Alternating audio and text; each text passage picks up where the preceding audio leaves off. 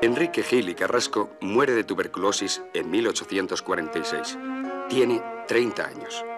Deja una única novela, El Señor de Benvibre, una autobiografía informal oculta tras una imitación de Banjoe de Walter Scott.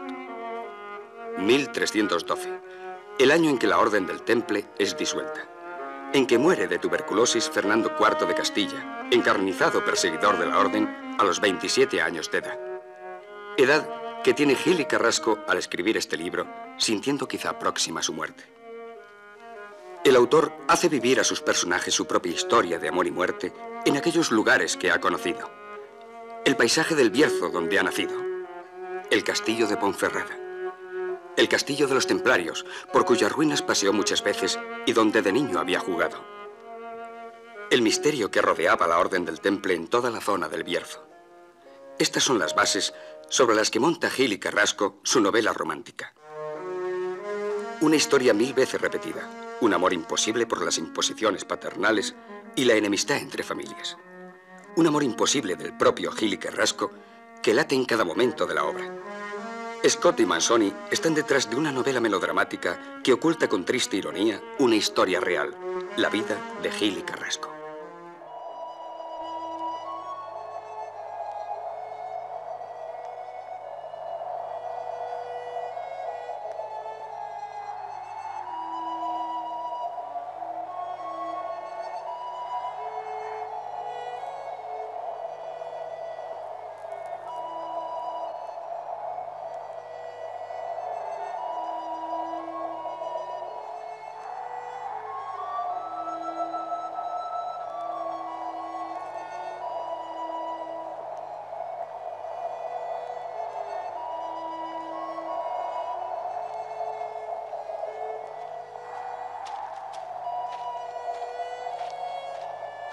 Martina. Martina.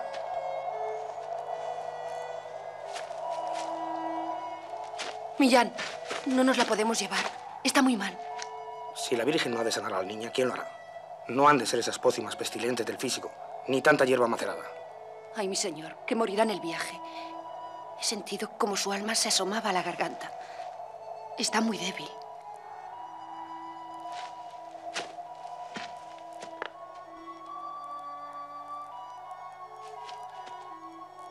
O la Virgen te cura, o el diablo nos lleva.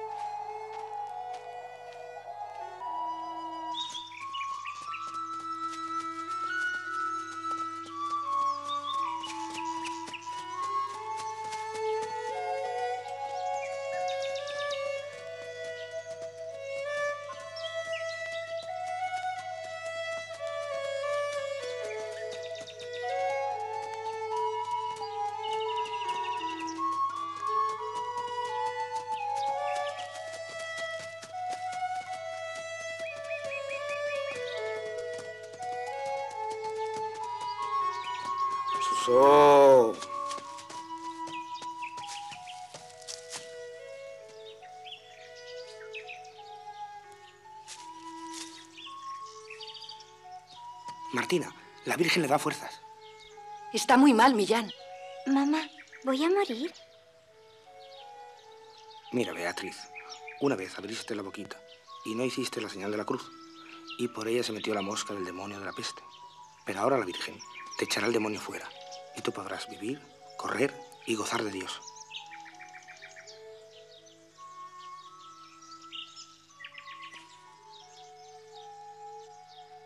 No sigamos más, por favor.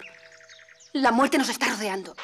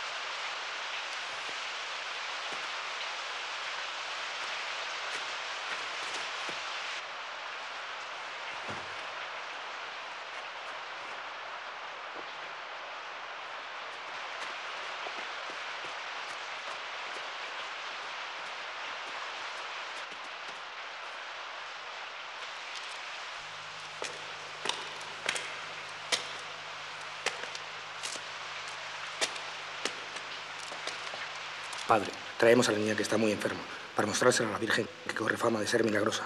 Ave María Quinae, Virgo absunta, santusque Petrus Montis, Santa Trinitas e omnes santis. Que abrevie el tonto. ¿Podemos pasar? Mulieres exceptae. La mujer y la niña pueden pasar solo a la iglesia. El resto es clausura.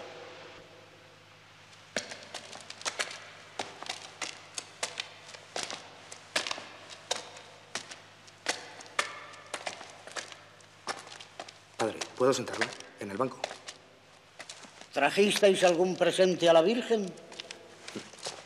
Se nos olvidaron los capones y el vino que teníamos preparado para vos.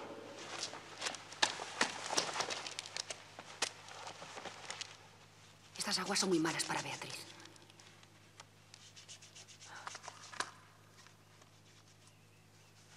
Que la Virgen nos lo pague. Calma, hija. No tienes nada, es solo fiebre. ¿Y ese cadáver? Es un hermano muerto ayer. Antes un poderoso señor, muy odiado por sus muchas tierras, perseguido por templario, ingresó en el monasterio por un amor carnal.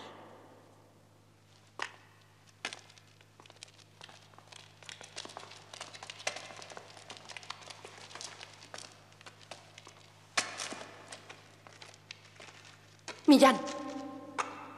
Son notas de mi señora doña Beatriz.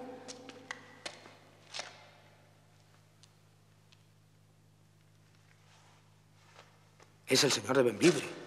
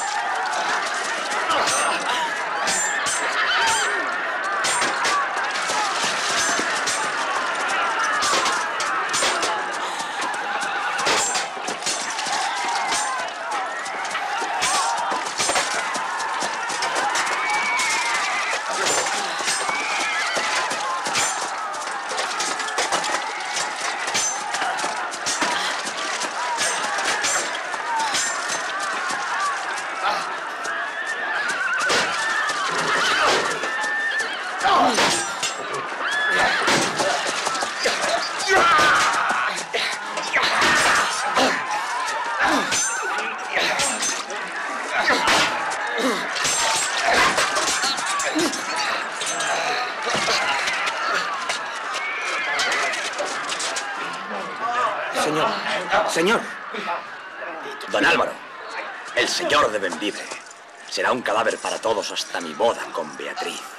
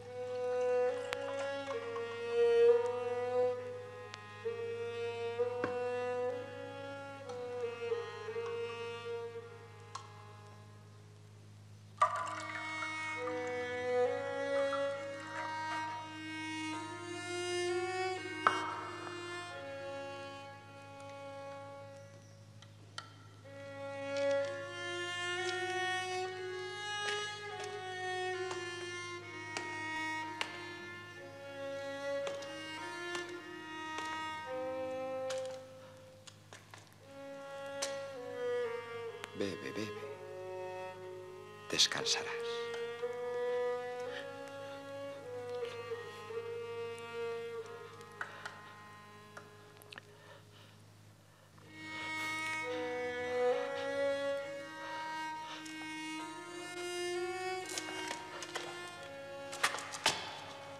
Qué silencio.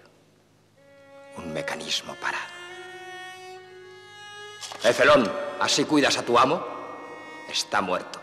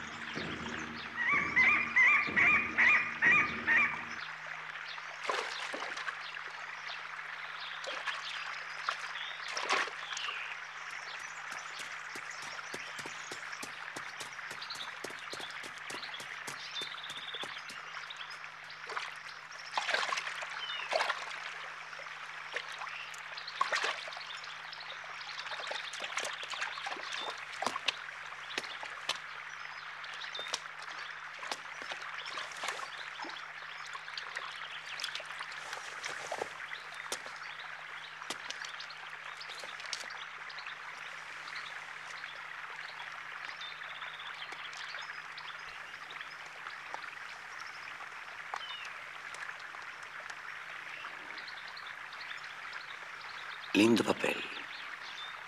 Don Álvaro duerme un sueño suave, suave, como la piel de Doña Beatriz.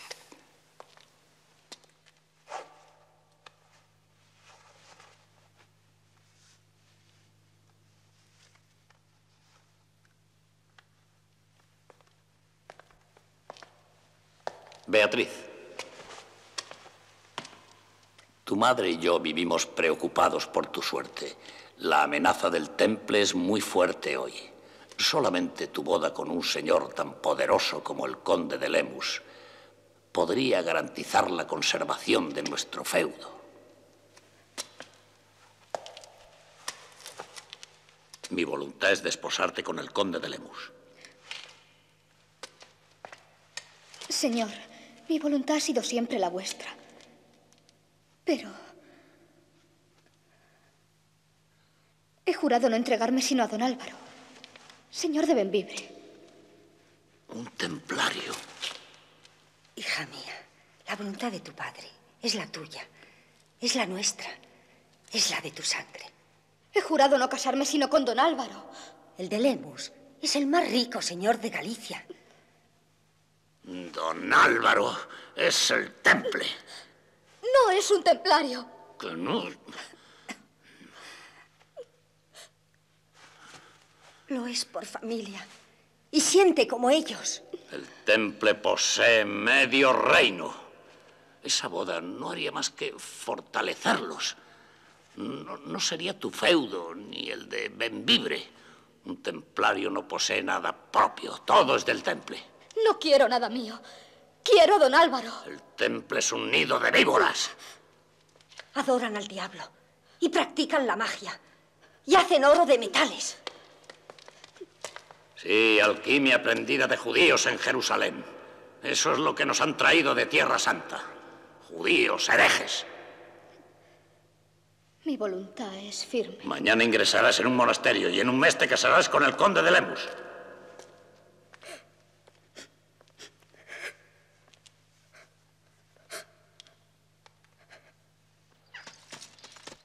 Martina, Martina.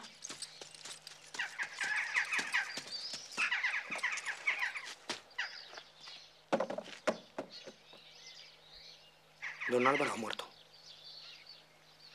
Dios mío, ¿cómo ha sido? En casa del conde de Lemus. Se ha desangrado. Yo lo he visto. Hay que avisar a doña Beatriz. Te llevaré al convento.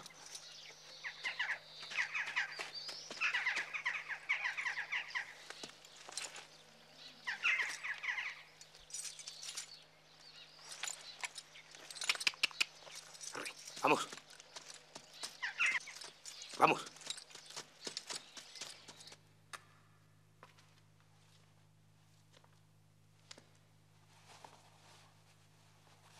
Martina, busca a Millán.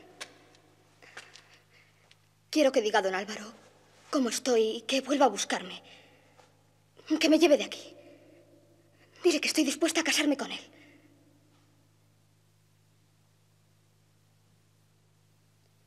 Martina, ¿qué tienes? Don Álvaro ha muerto. ¿Cómo? Se ha desangrado en la prisión del conde de Lemus.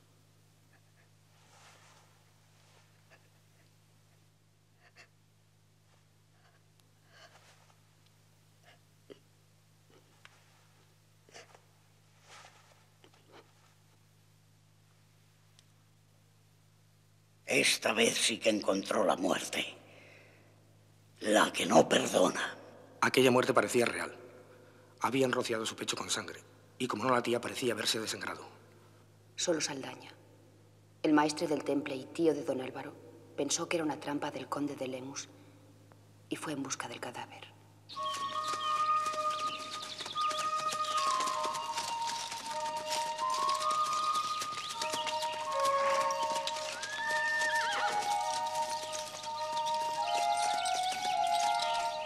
Buen Millán, me has traído donde yo quería. Ahora si queréis volveros sois libre. Si os quedáis, seréis útil que presiento que hará falta sangre para rescatar el cuerpo de don Álvaro. Señor, si he de luchar, lucharé. Más por mi señor don Álvaro, nunca por el temple. Perdón, maestre. Pero creo que si el Papa los persigue, no están en religión. El temple tiene tierras y riquezas en todo el mundo. De la envidia no está libre ni el Papa. ¿Por qué crees que estamos en guerra con Castilla? Por hacerse con un reino, por despojar la orden.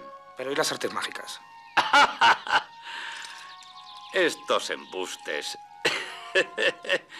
son lo que mejor explican a la gente unos actos que ocultan otras intenciones, una guerra santa contra Satán.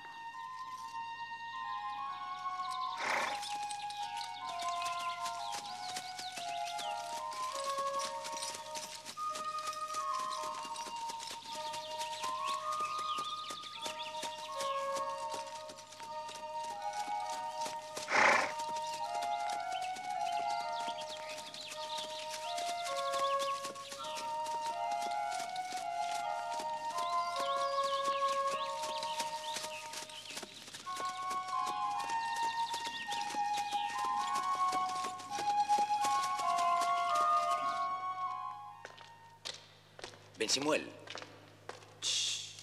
callad. ¿Creéis que podéis despertarle después de tanto tiempo? ¿No sería de buen caballero dejarle morir? No soporto estas dudas. Habláis con un sabio judío, no con un santero. No me gusta que se me hable así, menos un cristiano ignorante.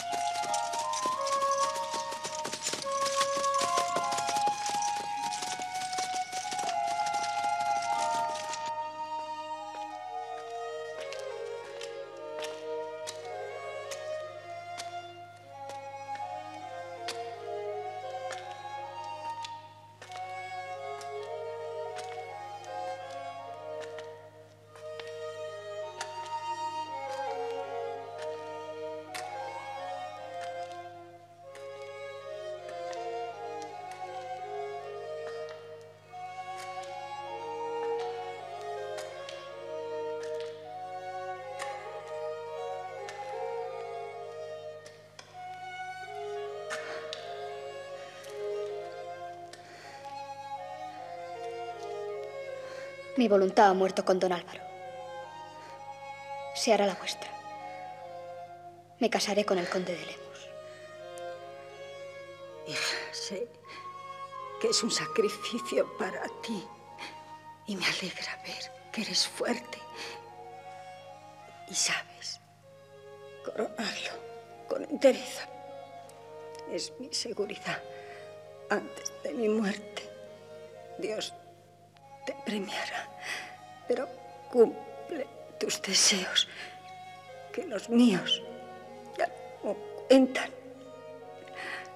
Mis deseos están ahora más muertos que los vuestros.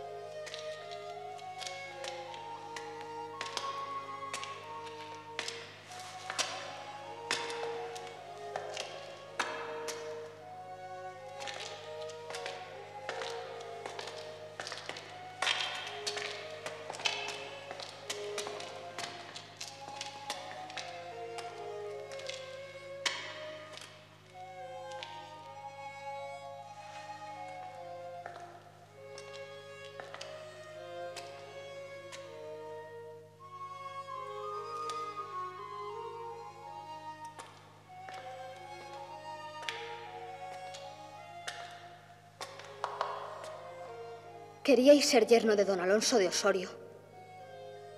Y lo vais a ser. Tendréis mis tierras, pero no mi cuerpo. ¿Lo juráis?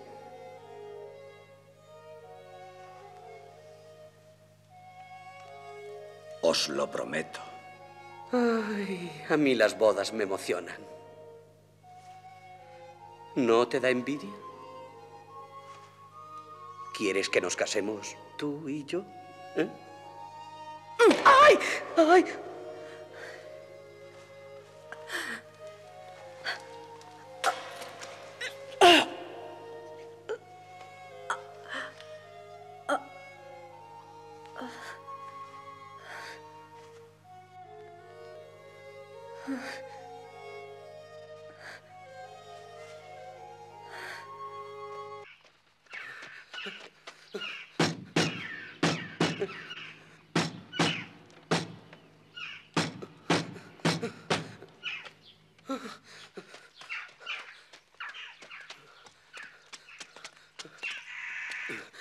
Tres caballeros quieren hablar con la señora.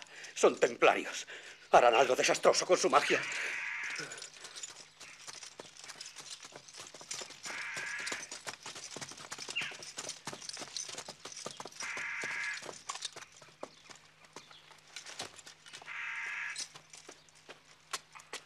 Sombra amada.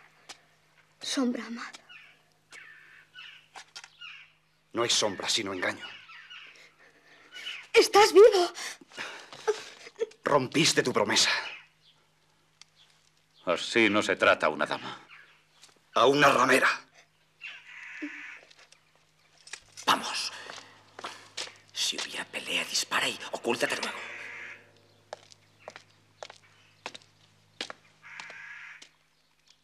Os teníamos por muerto.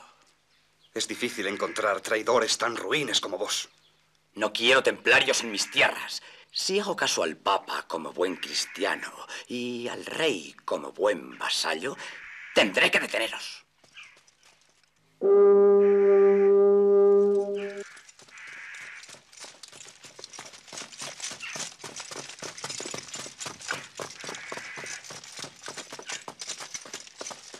¿Así observáis las leyes de caballería?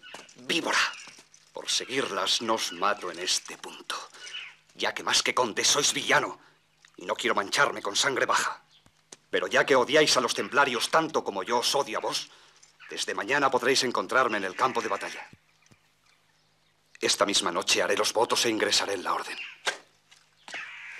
Te aborrezco cuanto te amé.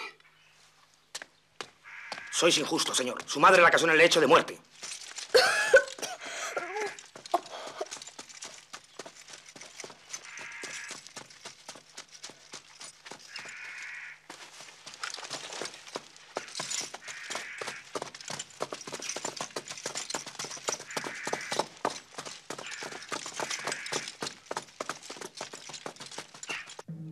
seguro de que este es el punto? Eso entendí. El azar va a ser justo al menos una vez. ¿Está firme la escala? Como si fuera la escalera principal de vuestro castillo de Monforte.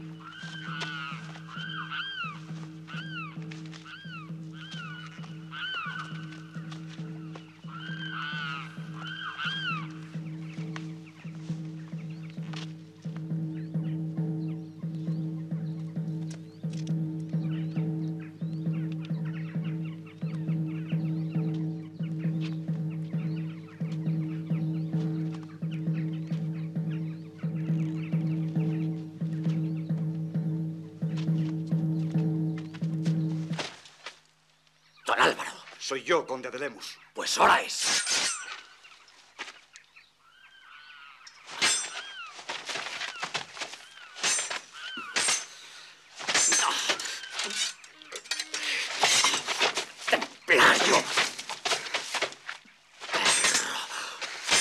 ¡Deteneos, don Álvaro! Este asunto no es vuestro, sino de la orden, y yo que la represento aquí lo tomo en mis manos.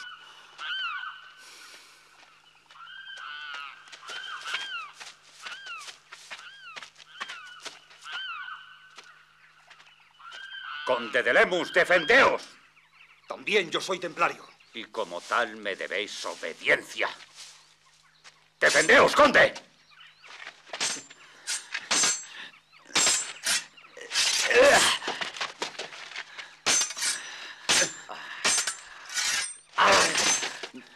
Templario.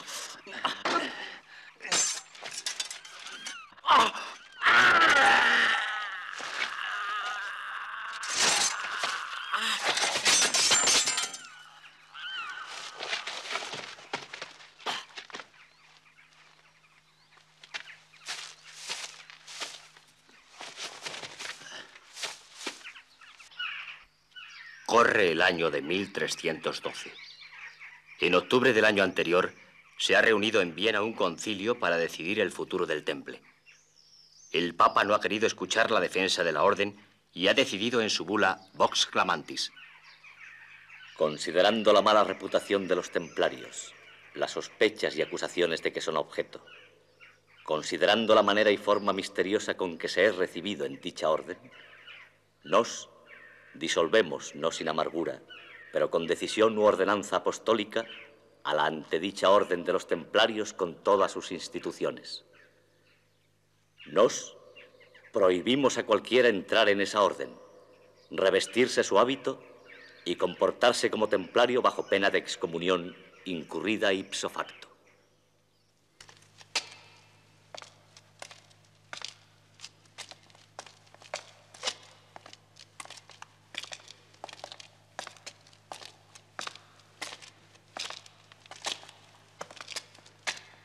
El conde de Lemus ha muerto. Y si no fuera por la obediencia que os debo, tendría que mataros ahora mismo por haberme privado de ese privilegio. Hijo, no me debéis obediencia. Matadme si lo deseáis, ya soy viejo. La orden del temple está disuelta y ellos dispensa de cumplir mis órdenes.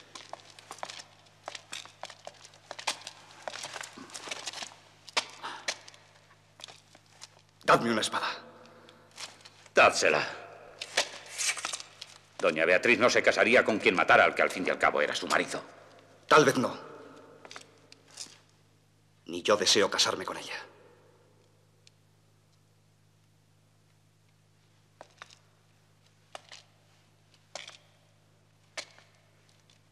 ¿Creéis que se me podría dispensar el voto de castidad tan recientemente hecho? Ni vos podríais hacer tal voto, ni nosotros recibirlo, porque la orden estaba ya disuelta cuando lo hicisteis.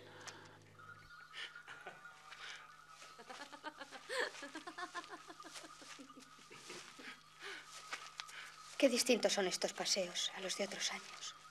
Más tranquilos.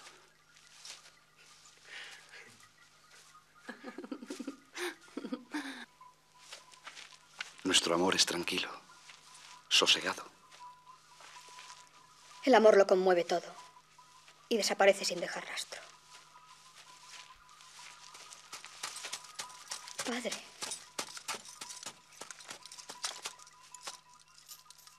He aquí la dispensa papal que libera de sus votos a don Álvaro. Toma.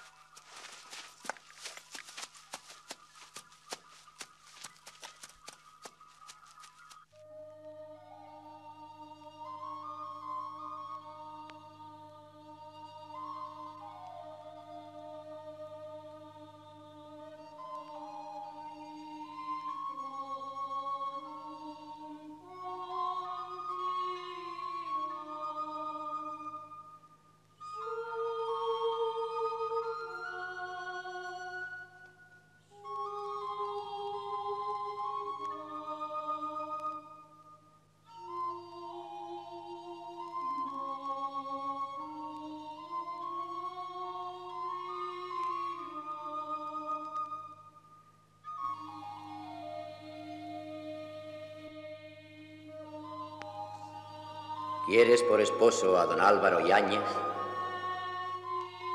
Sí.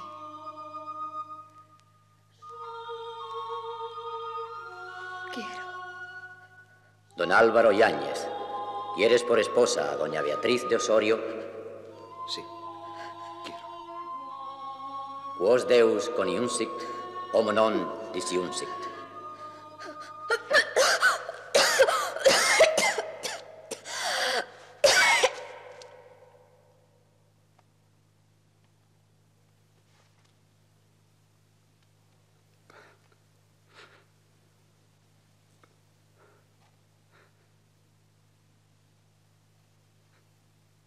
Ha muerto.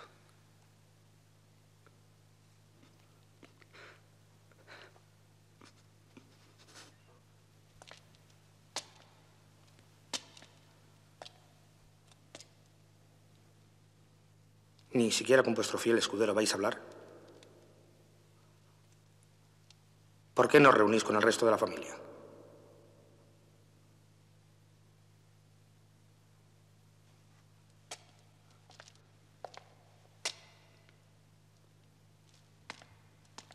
Solo un monasterio me dará el sosiego de tu recuerdo.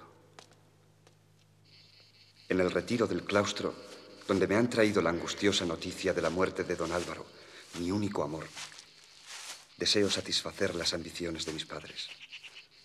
Mi voluntad, perdida con la desaparición de quien siempre amaré, no puede sino unirse a la de mis mayores. Mañana me daré en matrimonio al conde de Lemus. Solo una condición.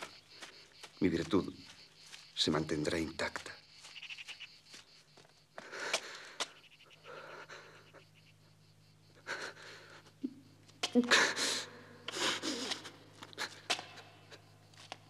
Beatriz.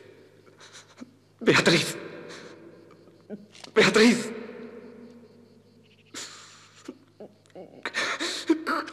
¿Qué, queda de ti?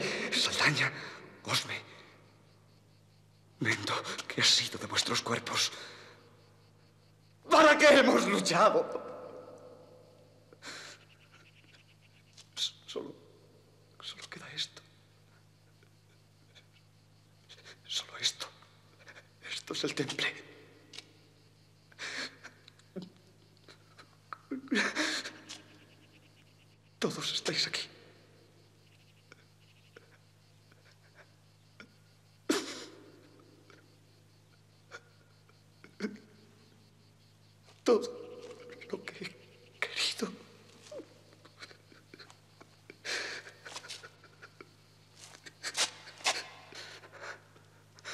Beatriz.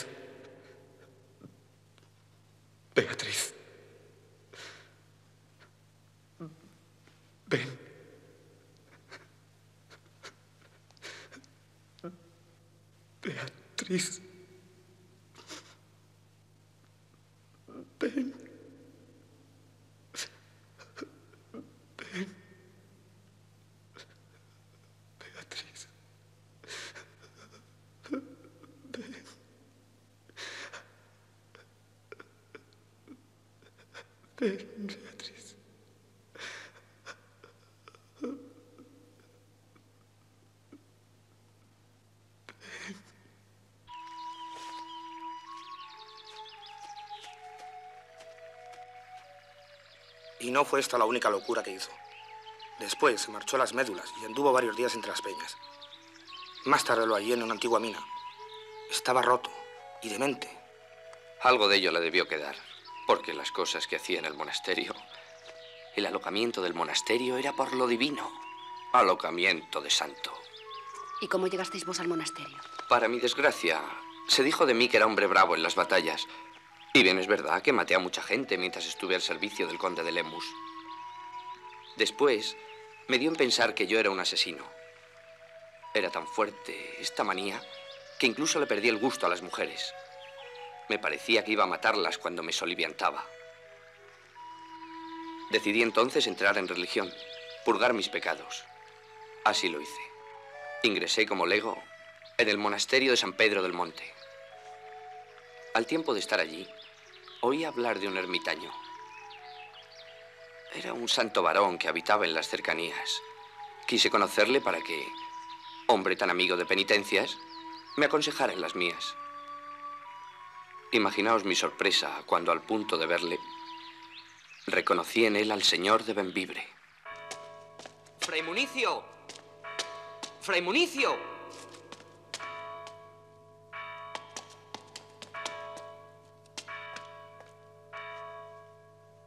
¿Qué os ocurre, hermano? ¿Sois vos el confesor del ermitaño? Sí, lo soy. ¿Y sabéis quién es? ¿Un ermitaño? Es el señor de Benvibre. Hmm. ¿Os lo ha dicho él? No, ni siquiera me ha reconocido, pero yo a él sí. Pues habréis de callarlo. ¿Por qué? La orden estará orgullosa de tenerlo en ella. Ah, ¿orgullosa?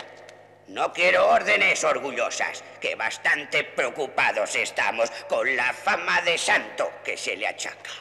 ¿Y es mentira? Al menos no seré yo, y soy su confesor quien diga que es verdad. Acabo de ver que tenéis celos. Teme que sea él y no vos quien sustituya al viejo prior. Lo que acabáis de ver es que tenéis que abandonar la orden inmediatamente. ¿Por qué? Porque sois insolente y locuaz, un ignorante villano. Y vos sois un reptil.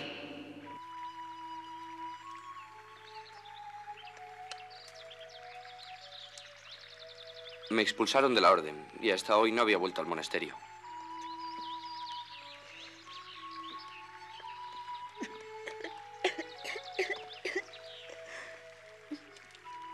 Al ver que el de Benvibre había fallecido, ignorado de todos, me dio despecho. Quise entrar al monasterio y decirles a los monjes quién era el ermitaño, pero no me dejaron. El resto ya lo sabéis. Vámonos. La niña está muy mala.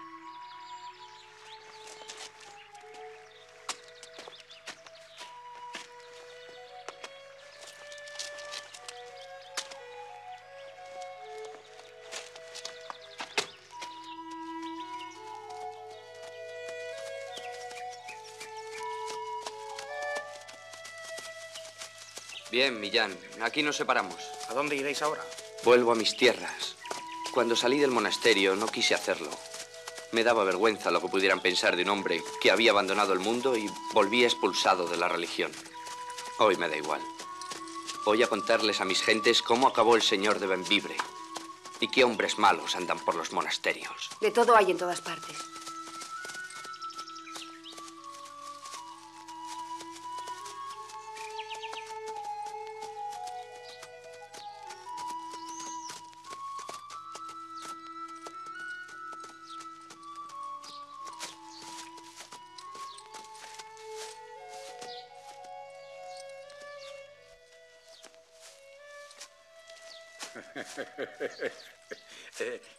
¿Qué tal el viaje? Eh, eh, ¿Está mejor vuestra hija?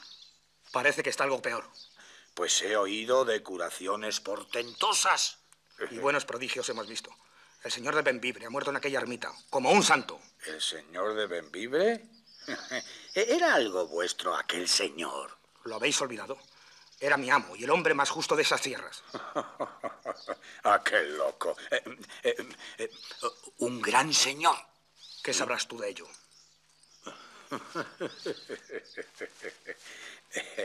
¡Zapata!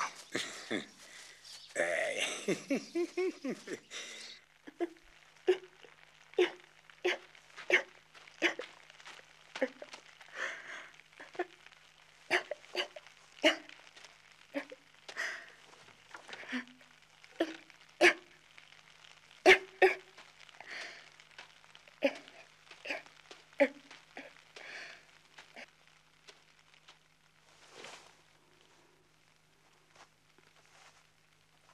cansada, Millán.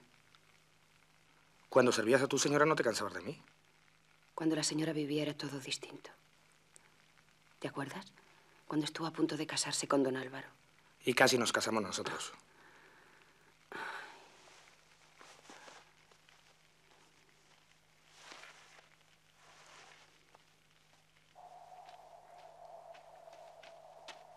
¿Millán? Martina, por fin te decides. Entra.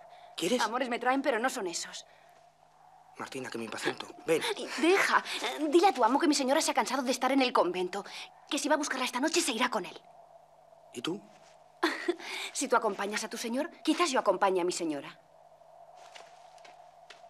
Ah, en la cruz del camino os espero para guiaros.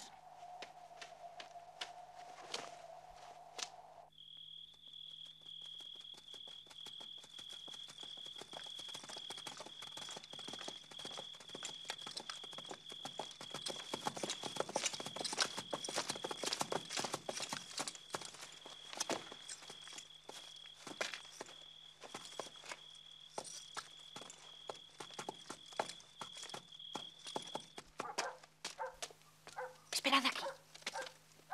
Millán, ¿crees que debemos hacerlo? Tendremos un rapto y dos bodas. Martina, ¿y tú también? Sí, señor. No sabes cómo he esperado este momento, Millán. Beatriz.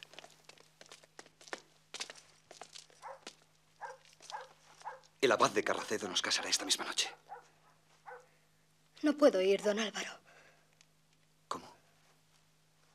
No puedo ir. Mis padres se morirían y el conde de Lemus te buscaría para matarte.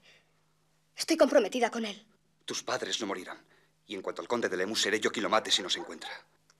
No quiero sangre por mi culpa. ¿Por qué me has llamado? Por imprudencia. Porque te quiero. Pero no puedo irme. Si me amas, puedes. Te amo y nunca perteneceré a otro. Ni al conde de Lemus, ni a nadie. Siempre seré tuya, pero... Márchate ahora.